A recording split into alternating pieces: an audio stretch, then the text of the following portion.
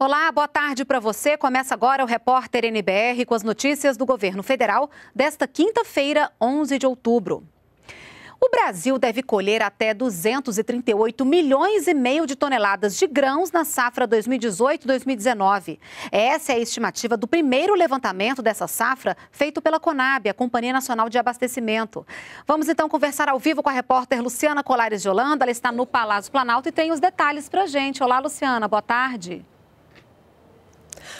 Olá, boa tarde, Renata. Boa tarde a todos. Olha só, a produção estimada na safra 2018-2019 é entre 233 e 238 milhões de toneladas.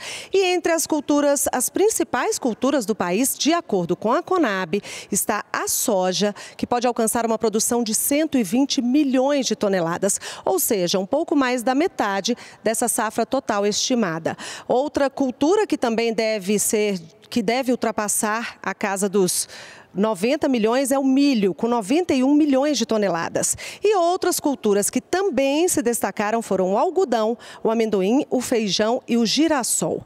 Durante o evento aqui em Brasília, durante o anúncio desses dados, o presidente da Conab, Marcelo Bezerra, destacou que o Brasil produz alimentos para o mundo sem desabastecer o país. E o ministro da Agricultura, Pecuária e Abastecimento, Blairo Maggi, lembrou que uma boa safra depende de decisões corretas e de condições climáticas. E que para que os números sejam positivos é importante reduzir a burocracia. Vamos ver. Tem coisas que estão na mão dos produtores para decidir, e, e, esse financiamento e o tempo correto de chegar e plantar no dia correto é uma grande chance, né?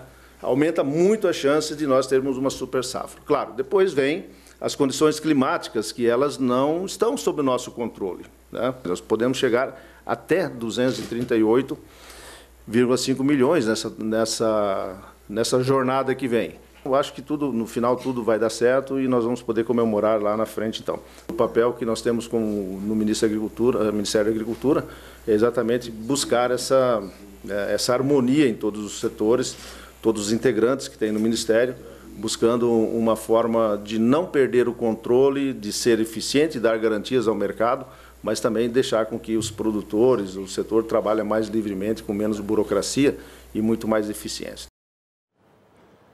E o novo presidente da Embrapa tomou posse aqui no Palácio do Planalto nesta quarta-feira.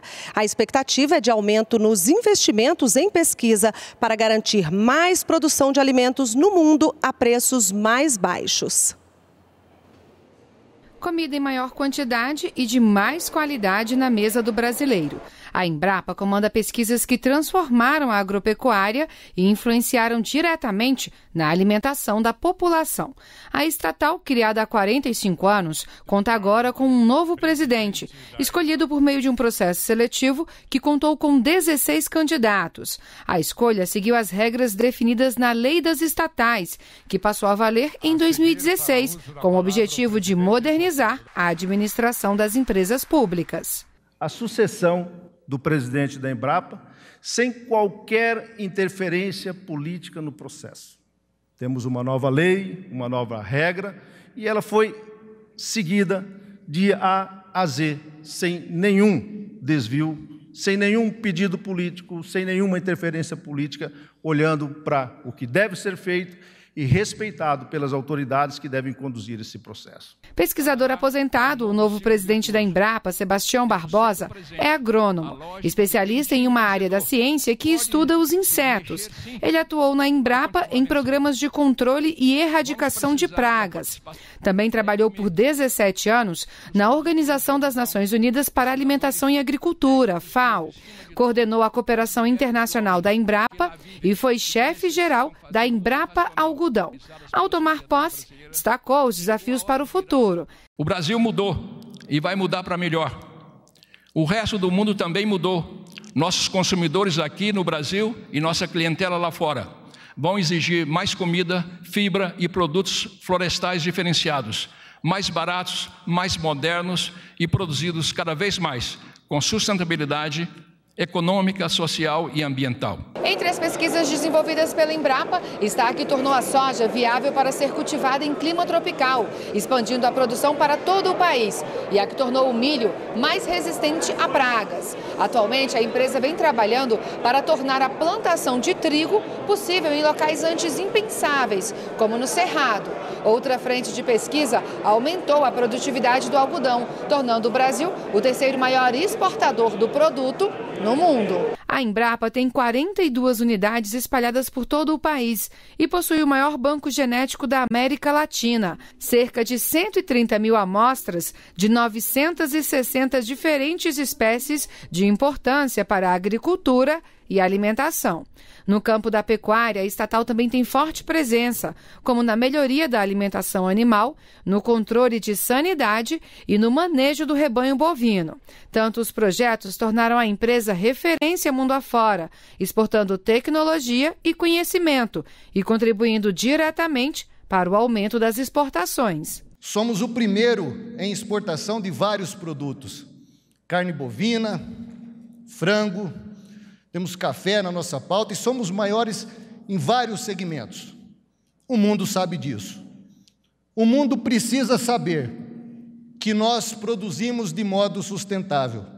Alimentamos 1,2 bilhão de pessoas em todo o mundo, utilizando menos de 30% das terras do Brasil. O presidente Michel Temer destacou a importância da agropecuária para o produto interno bruto, ou seja, para o conjunto de riquezas produzidas pelo país. Agora, em 2018, sem embargo das tempestades todas que muitas vezes foram armadas, o fato é que nós vamos ter ainda um PIB positivo. Nós tínhamos uma previsão de um PIB positivo de cerca de 3, 3,2, mas problemas os mais variados estão a indicar que teremos um PIB de 1,4, 1,6, 1,3, mas um PIB ainda positivo. Mas, mais uma vez, eu reitero que isso se deve, em grande parte, ao agronegócio brasileiro, que é reconhecido internacionalmente. As vendas no varejo em agosto cresceram 1,3% em relação a julho. Sete das oito atividades pesquisadas tiveram alta, como vestuário e calçados, combustíveis, móveis e eletrodomésticos. A única atividade do varejo com taxa negativa em agosto foi a de livros, jornais, revistas e papelaria. Nós ficamos por aqui. Você acompanha a nossa programação ao vivo pelo site da NBR e todas as reportagens estão em nosso canal no YouTube. Acesse também o nosso perfil no Twitter. E atenção, porque o nosso número de WhatsApp mudou.